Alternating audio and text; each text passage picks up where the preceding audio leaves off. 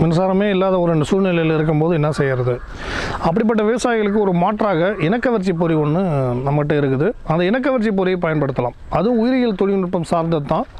இதுதான் அந்த இணக்கவர்ச்சி பொறின்றது. இப்போ பார்த்தீங்கன்னா மேலே வந்து ஒரு ட குள்ளா மாதிரி இருக்குது ஒரு டியூப் மாதிரி இருக்குது இங்கே வந்து ஒரு ஒரு கிண்ணம் மாதிரி இருக்குது உள்ள குழி இருக்குது இது வந்து ஒரு பாலித்தீன் பை இருக்குது இங்கே ஒரு முடிச்சு போட்டிருக்காங்க. இந்த சைடில் குச்சி வச்சு பயிரை விட ஒரு ரெண்டு அடி தூக்கி வச்சு நம்ம என்ன செய்யறோம் கேட்டிங்கன்னா ஒரு ஏக்கர் நிலம் இருக்குன்னு வச்சுங்க.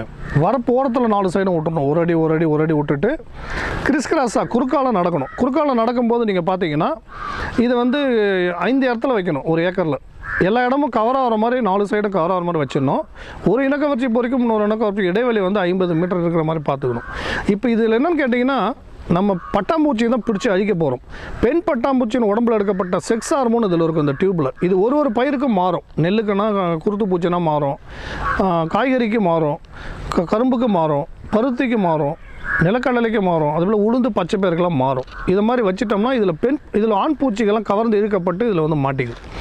பட் எந்த பூச்சி அழிக்கிறோமோ அந்த பூச்சியோட செக்ஸ் ஹார்மோனில் இருக்கிறதுனால முல்லை முள்ளால் எடுக்கிறோம் உயிரியல் முறையில் இது வந்து உள்ளே மாட்டேங்குது. இதனால் வந்து இனப்பெருக்கம் நடைபெறாது முட்டை வைக்காது முட்டையிலேருந்து புழு வரலன்னு நம்ம நம்ம பயிரை காப்பாற்றிடலாம் இது இந்த டியூப் இருபது நாள் வரைக்கும் வேலை செய்யும்.